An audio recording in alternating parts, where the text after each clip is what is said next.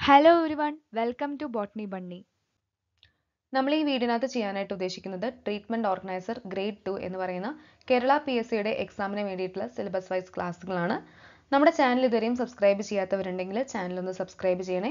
ഒപ്പം തന്നെ bell button അമർത്താം. അവിടെ ഓൾ എന്നുള്ള ഓപ്ഷൻ എനേബിൾ ചെയ്യാനായിട്ട് മറക്കരുത്.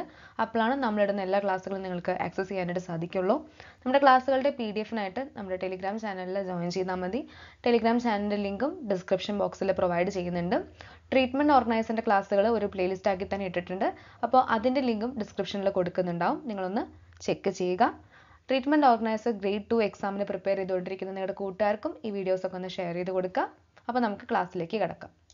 റെസ്പിറേറ്ററി സിസ്റ്റം എന്ന് പറയുന്നത് ഒരു നെറ്റ്വർക്ക് ഓഫ് ഓർഗൻസും ടിഷ്യൂ ആണ്. അതുവഴിയായിട്ടാണ് നമ്മൾ ബ്രീത്ത് ചെയ്യുന്നത്. അപ്പോൾ അതിനകത്ത് എയർവേസ് ഉണ്ട് ലങ്സ് ഉണ്ട് ബ്ലഡ് വെസൽസ് ഉണ്ട്. അതുമാത്രമല്ല നമ്മുടെ ലങ്സിനെ പവർ ചെയ്യുന്ന പലതരം മസിൽസും ഉണ്ട്. ഇവരെല്ലാം ഒരുമിച്ച് വർക്ക് ചെയ്തിട്ടാണ് നമ്മുടെ ബോഡിയിലോട്ട് ആവശ്യമുള്ള ഓക്സിജൻ എത്തിക്കുകയും അതുപോലെ വേസ്റ്റായ ഗ്യാസസ് ആയ കാർബൺ ഡൈ ഓക്സൈഡിനെയൊക്കെ പുറന്തള്ളുകയും ചെയ്യുന്നത്. അപ്പോൾ ഫിസിയോളജി ഓഫ് റെസ്പിറേറ്ററി സിസ്റ്റം ആണ് നമ്മളിന്ന് സ്പെഷ്യൽ ആയിട്ട് ഡീൽ ചെയ്യുന്നത്. Major function of respiratory system എന്താണ്? ഓക്സിജനെ സ്വീകരിക്കുകയും അതുപോലെ കാർബൺ ഡൈ ഓക്സൈഡിനെ ഡിസ്പോസ് ചെയ്യുകയും എന്നുള്ളതാണ്. അപ്പോൾ ഇതിനകത്ത് നാല് ഡിസ്റ്റിങ് ഇവന്റുകളാണ് മേജർ ആയിട്ടും ഉള്ളത്. ഇനി റെസ്പിറേറ്ററി സിസ്റ്റത്തെ കുറിച്ച് പഠിക്കുന്നതിന് മുന്നേ അതിന്റെ ഫിസിയോളജി പഠിക്കുന്നതിന് മുന്നേ ആയിട്ട് റെസ്പിറേറ്ററി സിസ്റ്റത്തിന്റെ പാർട്ടുകൾ അറിയേണ്ടതായിട്ടുണ്ട്. നമ്മൾ കഴിഞ്ഞ ക്ലാസ്സിൽ റെസ്പിറേറ്ററി സിസ്റ്റവും അതിന്റെ പാർട്സിനെ പറ്റിയൊക്കെ ഡീൽ ചെയ്തിരുന്നു. എങ്കിലും പറയാണ് നമ്മുടെ റെസ്പിറേറ്ററി ട്രാക്റ്റിന് അപ്പർ എന്നും ലോവർ എന്നും നമുക്ക് ഡിവൈഡ് ചെയ്യാം.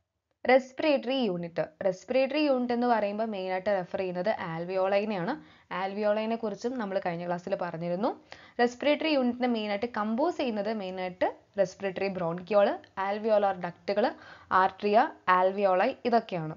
സോ മുന്നൂറ് മില്യൺ ആൽവിയോളയാണ് രണ്ട് ലങ്സിലും കൂടെ ഉള്ളത്. ഓരോ ആൽവിയോളസിനും നമ്മുടെ ആവറേജ് ഡയമീറ്റർ എന്ന് പറയുന്നത് സീറോ പോയിന്റ് ടു മില്ലിമീറ്റർ ആണ്. ഓക്കെ സോ ഇവിടെ നിങ്ങൾക്ക് ആൽവിയോളൈനെ കാണാൻ സാധിക്കുന്നുണ്ട്. ഒരു മുന്തിരിക്കൊല തൂങ്ങിക്കിടക്കുന്ന പോലെയാണ് ആൽവിയോളർ സാക്കിനെ നമുക്ക് കാണാനായിട്ട് സാധിക്കുന്നത്. ഇതിനകത്തുള്ള ഒരു സ്പേസിനെയാണ് ആൻട്രം എന്ന് പറഞ്ഞ് വിളിക്കുന്നത്. ഇതാണ് ആൽവിയോളർ ഡക്റ്റ് എന്ന് പറയുന്നത്. അപ്പോൾ ഇത് ഓരോന്നും എന്താണ്? ആൽവിയോളൈകളാണ്. ഓക്കെ ഇനി ഓക്സിഡേറ്റഡ് ബ്ലഡാണ് നമ്മൾ ഓൽവിയോളയിൽ നിന്നും പ്രൊഡ്യൂസ് ചെയ്ത് പുറത്തോട്ട് വിടുന്നത് ഡിയോക്സിനേറ്റ് ചെയ്യപ്പെട്ട ബ്ലഡ് ആണ് നമുക്ക് ആൽവിയോളയിലോട്ട് വരുന്നത്. അവിടുന്ന് പ്യൂരിഫിക്കേഷൻ ചെയ്തിട്ടാണ് നമ്മൾ എന്ത് ചെയ്യുന്നത്? ഓക്സിജനേറ്റ് ചെയ്യപ്പെട്ട ബ്ലഡിനെ നമ്മൾ പല ബോഡി ടിഷ്യൂസിനും കൊടുക്കുന്നത്. റെസ്പിറേഷനിൽ നാല് ഡിസ്റ്റിങ് ഇവന്റുകൾ ഉണ്ട് എന്ന് നമ്മൾ പറഞ്ഞിരുന്നു. ആദ്യത്താണ് പൾമണറി വെന്റിലേഷൻ എന്ന് പറയുന്നത്. എയർ എന്ന് പറയുന്നത് ഉള്ളിലോട്ടും അതുപോലെ പുറത്തോട്ടും പോകുന്നുണ്ട്.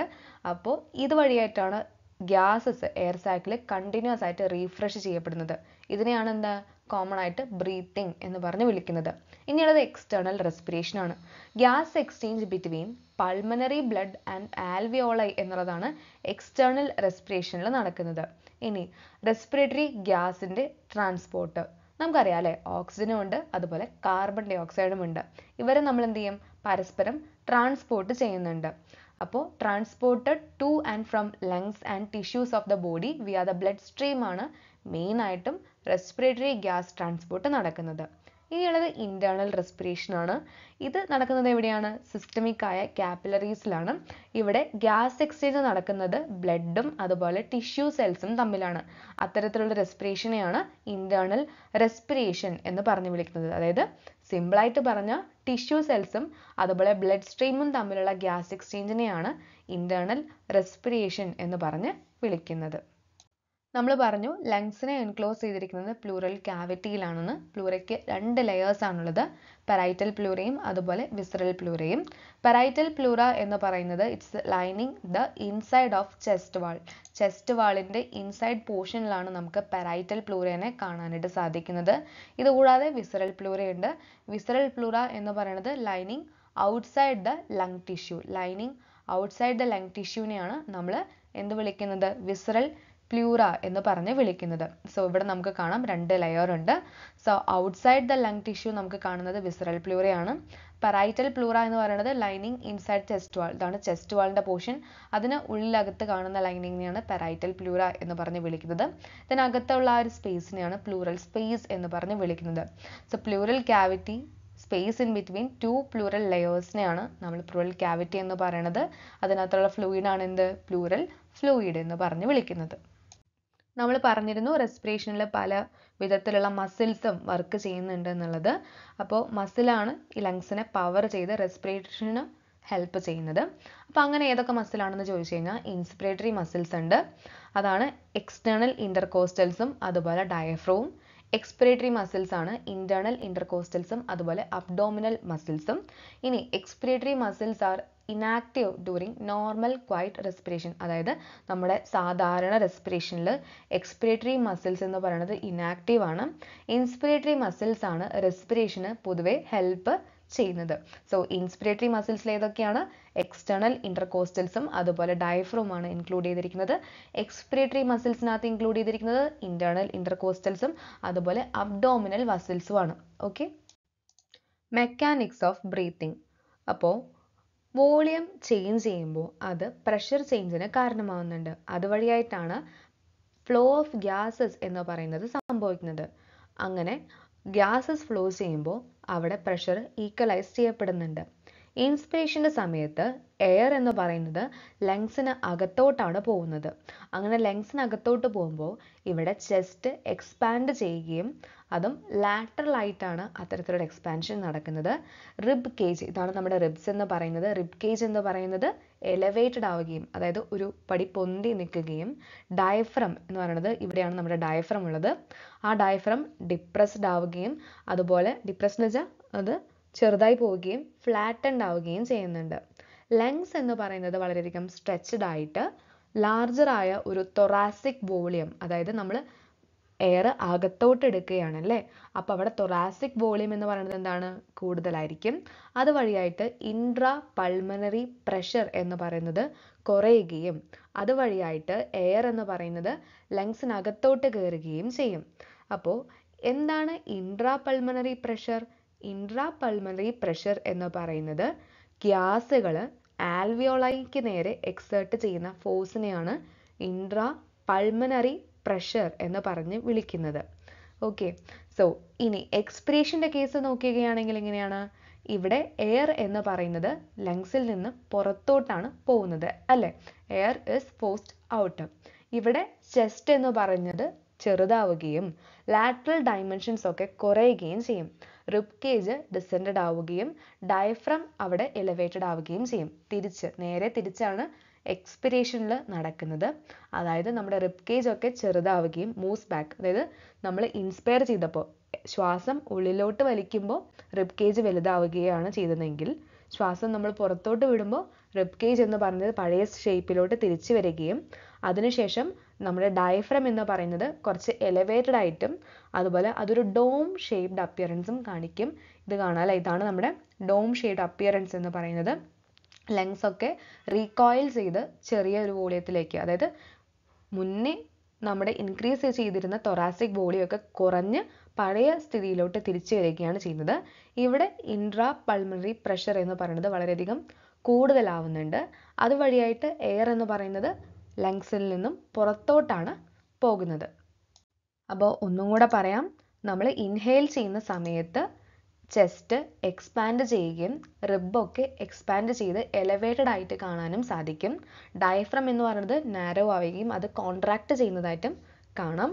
അങ്ങനെയാണ് എയർ ഉള്ളിലോട്ട് വരുന്നത്. ഇനി എക്സലേഷന്റെ സമയത്ത് അത് ശ്വാസം നമ്മൾ പുറത്തോട്ട് വിടുമ്പോൾ ഇവിടെ ചെസ്റ്റ് കോൺട്രാക്ട് ചെയ്യുകയും ഡയഫ്രം റിലാക്സ് ചെയ്ത് ഒരു ഡോം ഷേപ്ഡ് അപ്പിയറൻസ് ആവുകയും ചെയ്യുന്നുണ്ട്.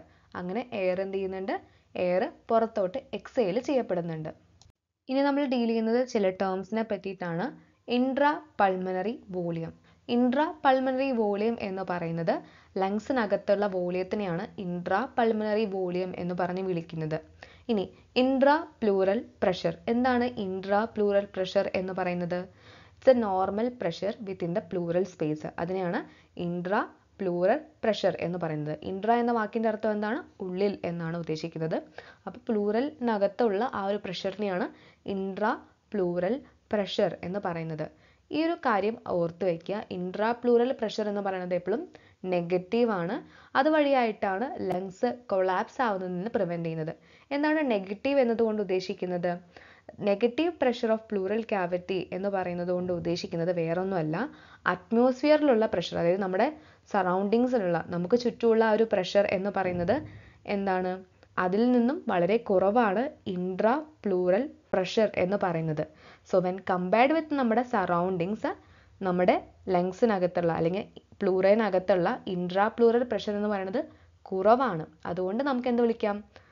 അത് കുറവായതുകൊണ്ട് നമുക്കതിനെ നെഗറ്റീവ് എന്ന് പറഞ്ഞ് വിളിക്കാം. പുറത്തുള്ള ഒരു ഇതിന്റെ ഏരിയനെ നമുക്ക് എന്ത് വിളിക്കാം? അതായത് അറ്റ്മോസ്ഫിയറിക് പ്രഷറിനെ എന്ത് പറയാം? പോസിറ്റീവായിട്ടും നമുക്ക് പറയാം. അതുകൊണ്ടാണ് ഇൻട്രാ പ്ലൂറൽ പ്രഷർ എന്ന് പറയുന്നത് നെഗറ്റീവ് എന്ന് നമ്മൾ പറയുന്നത്. So intra pleural pressure negative ആയതുകൊണ്ടാണ് ഇവിടെ ലങ്സ് കൊളാപ്സ് ആവാതെ ഇരിക്കുന്നത്. ഇനി ഇതിന് കാരണം എന്താണ്? ഇൻട്രാ പ്ലൂറൽ പ്രഷർ എന്ന് പറയുന്നത് നെഗറ്റീവ് ആവാനുള്ള കാരണം. ഒന്നാമത്തെ കാരണം surface tension of alveolar fluid ആണ്. Surface tension of alveolar fluid ആണ് ആദ്യത്തെ ഫാക്ടർ എന്ന് പറയുന്നത് രണ്ടാമത്തെ ഫാക്ടർ എന്താണ്? രണ്ടാമത്തെ ഫാക്ടർ ഇലാസ്റ്റിസിറ്റി ഓഫ് ലങ്സ് ആണ്. ലങ്സിന്റെ ഇലാസ്തികതയാണ് രണ്ടാമത്തെ ഫാക്ടർ എന്ന് പറയുന്നത്. അതുപോലെ തൊറാക്സിക് ബാളിന്റെ ഇലാസ്റ്റിസിറ്റി അതാണ് മൂന്നാമത്തെ ഫാക്ടർ എന്ന് പറയുന്നത്. അപ്പോൾ ഇത്തരത്തിലുള്ള കാര്യങ്ങൾ ഉള്ളതുകൊണ്ടാണ് ഇൻട്രാ പ്രഷർ എന്ന് പറയുന്നത് എപ്പോഴും നെഗറ്റീവ് ആണ് എന്ന് പറയുന്നത്. ഓക്കെ ഇനി അടുത്തത് നോൺ റെസ്പിറേറ്ററി മൂവ്മെന്റുകളാണ് എന്തൊക്കെയാണ് നോൺ റെസ്പിറേറ്ററി മൂവ്മെന്റ് എന്ന് പറയുന്നത്? നമുക്കറിയാം റിഫ്ലക്സ് ആക്ടിവിറ്റികൾ ഉണ്ടല്ലേ നമുക്ക് പലതരത്തിലുള്ള റിഫ്ലക്സ് ആക്ടിവിറ്റികൾ ഉണ്ട്. അതായത് നമ്മുടെ കഫ് സ്നീസ് നമ്മൾ കരയുമ്പോൾ അല്ലെങ്കിൽ നമ്മൾ ചിരിക്കുമ്പോൾ അല്ലെങ്കിൽ നമുക്ക് എക്കിൾ വരുമ്പോൾ അല്ലെങ്കിൽ നമ്മൾ കോട്ടുവായിടുമ്പോൾ ഇതൊക്കെ എന്താണ്? അതൊരു നോൺ റെസ്പിറേറ്ററി എയർ മൂവ്മെന്റ് ആണ്. ഇവിടെയൊക്കെ എന്ത് സംഭവിക്കുന്നുണ്ട്? എയറിന്റെ മൂവ്മെന്റ് ഉണ്ടാകുന്നുണ്ട്. പക്ഷേ ഇത് റെസ്പിറേഷൻ അല്ല അല്ലേ? അപ്പോൾ അതുകൊണ്ടാണ് എന്ത് വിളിക്കുന്നത്? നോൺ റെസ്പിറേറ്ററി എയർ മൂമെന്റ്സ് എന്ന് പറഞ്ഞ് വിളിക്കുന്നത്. സോ ഇൻട്രാ പ്ലൂലർ പ്രഷർ എന്ന് പറയുന്നത് നെഗറ്റീവ് ആണ് എന്നുള്ളത് ഓർത്ത് വയ്ക്കുക. അതിനെ എഫക്റ്റ് ചെയ്യുന്ന ഫാക്ടേഴ്സിനെയും ഓർത്ത് വയ്ക്കുക. അപ്പോൾ ഇൻട്രാ പ്ലൂലർ പ്രഷർ നെഗറ്റീവ് ആവാനുള്ള കാരണം എന്താണ്? അതുവഴിയായിട്ടാണ് ലങ്സ് കൊളാപ്സ് ആവാതെ ഇരിക്കുന്നത്. ഇതും ഓർത്ത് വയ്ക്കുക. ഇനി നമ്മൾ ഡിസ്കസ് ചെയ്യാൻ പോകുന്നത് ചില റെസ്പിറേറ്ററി മൂവ്മെന്റുകളെ കുറിച്ചാണ്. പമ്പ് ഹാൻഡിൽ മൂവ്മെന്റും ഉണ്ട്. അതുപോലെ ബക്കറ്റ് ഹാൻഡിൽ മൂവ്മെന്റും ഉണ്ട്. അപ്പോൾ നമ്മുടെ റിബുകൾ എലവേറ്റഡ് ആവുമ്പോൾ ഇൻക്രീസ് ആവുന്ന ആന്റീരിയോ പോസ്റ്റീരിയോ ഡയാമീറ്റർ നമുക്ക് കാണാൻ സാധിക്കുന്നുണ്ട്. അപ്പോൾ ഇതിന് റെസ്പോൺസിബിൾ ആവുന്ന ഒരു മൂവ്മെന്റ് ആണ് പമ്പ് ഹാൻഡിൽ മൂവ്മെന്റ് എന്ന് പറയുന്നത്. ഇവിടെ സ്റ്റേണത്തിന്റെ മൂവ്മെന്റ് ആണ് നടക്കുന്നത്. അതിന്റെ മൂവ്മെന്റ് എന്ന് പറയുന്നത് ഒരു പമ്പിന്റെ ഹാൻഡിൽ നമുക്കറിയാമല്ലോ വെള്ളം പിടിക്കുന്ന പമ്പുകൾ നമ്മൾ കണ്ടിട്ടുണ്ടാകും വഴിയോരത്തൊക്കെ അതിന്റെ ഒരു മൂമെന്റ് പോലെയാണ് ഇവിടെ നമ്മുടെ സ്റ്റേണം ആക്ട് ചെയ്യുന്നത്. സ്റ്റേണം എന്ന് പറയുന്നത് നമ്മുടെ മാറലാണ് അപ്പോൾ ഇതൊരു ടീ ഷേപ്ഡായ വെർട്ടിക്കൽ ബോൺ ആണ്. ഇവരാണ് ആന്റീരിയർ പോർഷൻ ഓഫ് ചെസ്റ്റ് വാളായിട്ട് മാറുന്നത്. അപ്പോൾ ഇവരുടെ സ്റ്റേണത്തിന്റെ മൂവ്മെന്റ് എന്ന് പറയുന്നത് എങ്ങനെയാണ്? ഒരു പമ്പ് ഹാൻഡിലിന്റെ മൂവ്മെന്റ് എങ്ങനെയാണോ അതുപോലെയാണ് നമ്മുടെ സ്റ്റേണം നമ്മുടെ റിബ് എലവേറ്റഡ് ആകുമ്പോൾ മൂവ് ചെയ്യുന്നത്. ഇനി അടുത്തതാണ് ബക്കറ്റ് ഹാൻഡിൽ മൂവ്മെന്റ് നമുക്കറിയാമല്ലേ ബക്കറ്റിന്റെ ഹാൻഡിൽ എങ്ങനെയാണ് മൂവ് ചെയ്യുക? അതുപോലെയാണ് നമ്മൾ നോക്കിക്കഴിഞ്ഞാൽ കാണാം അല്ലേ? ഇത്തരത്തിലൊരു മൂവ്മെന്റ് ആണ് നമ്മുടെ ബക്കറ്റ് ഹാൻഡിലിൽ ഉണ്ടാവുക. അതുപോലെയാണ് ലാറ്ററൽ ഡയാമീറ്റർ കൂട്ടാൻ വേണ്ടിയിട്ട് റിബ്സ് മൂവ് ചെയ്യുന്നുണ്ടാവുക. ഒരു ബക്കറ്റിന്റെ ഹാൻഡിൽ എങ്ങനെ മൂവ് ചെയ്യുമോ? താഴത്തോട്ടും മേലോട്ടും എങ്ങനെ മൂവ് ചെയ്യുമോ അതുപോലെയാണ് ലാറ്ററൽ ഷാഫ്റ്റ് ഓഫ് റിബുകൾ എലവേറ്റഡ് ആവുമ്പോൾ മൂവ്മെന്റ് ചെയ്യുന്നത്. ഇതും എന്താണ്? ഒരു റെസ്പിറേറ്ററി മൂവ്മെന്റ് ആണ്. So movement at costo vertebral joint through the long axis of neck of ribs resulting in raising and lowering of sternal എൻസർ കോസ്റ്റോ vertebral joint എന്ന് പറയുന്നത് ഈ ജോയിന്റിനെയാണ് അതായത് നമ്മുടെ സ്റ്റേണത്തിന്റെ നടുക്കിലായിട്ട് നമുക്ക് കാണുന്നതാണ് ഈ കോസ്റ്റോ വെർട്ടിബ്രൽ ജോയിൻസ് എന്ന് പറയുന്നത്. അപ്പം ഈ മൂവ്മെന്റ് എന്ന് പറയുന്നത് വഴിയായിട്ട് raising and lowering of sternal ends പമ്പിന്റെ handle എങ്ങനെയാണ്? അതുപോലെ ഒരു മോഷൻ ഇവിടെ നടക്കുന്നുണ്ട്. ആദ്യത്തത് മുതൽ ആറാമത്തെ റിബ് വരെയാണ് ഈ മൂവ്മെന്റിൽ ഇൻവോൾവ് ആവുന്നത്. ഇത്രയും റിബ്സ് ആണ് അല്ലേ? ഇതിൽ ഒന്ന് മുതൽ ആറ് വരെയുള്ള റിബുകളാണ് ഈ പമ്പ് ഹാൻഡിൽ തരത്തിലുള്ള ഒരു മൂവ്മെന്റ് കാണിക്കുന്നത്. അതായത് മെയിനായിട്ട് സ്റ്റേണമാണ് അത്തരത്തിലൊരു മൂവ്മെന്റ് കാണിക്കുന്നത്.